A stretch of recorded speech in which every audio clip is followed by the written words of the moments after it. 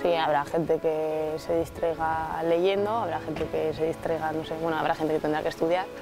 Y a mí me gusta pintar y dibujar. Gané un premio para ir a, una escuela de arte, pero claro, como a mí me gusta el fútbol, yo le dije a mi madre que no, que, que yo pintar que ya sabía, imagínate la edad que tendría, si yo pintaría sabía que yo quería jugar al fútbol. Es que yo quiero jugar, es que me gusta más el fútbol y me apuntaron a fútbol y ya fue fútbol, fútbol, fútbol. Lo que yo quiero es ser la mejor, por así decirlo. Yo quiero ser la mejor y trabajaré para ser la mejor. Que, que no llegaré, bueno, pues no llegaré, pero lo que yo voy a hacer es trabajar para ello. La verdad es que sí, es que se me pone la piel de gallina de pensarlo.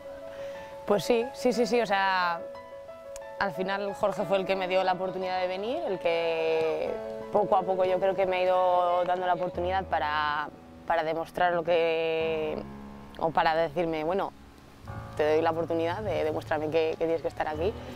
Esta concentración, como ha causado baja manda, pues mira, me ha propuesto que sí quería y que él me veía capacitada para ser capitana y eso, o sea, la confianza que te transmite es muy grande, o sea, muy grande. Y para un jugador tener la confianza de su entrenador es muy importante. Es que tengo muchísimas ganas, me han dicho que un mundial es, o sea, es que es otra cosa, es otro mundo, que hay un ambientazo, que es que la gente se vuelca un montón, entonces tengo un montón de ganas por, porque ojalá esté entre las 23 y quiero vivirlo.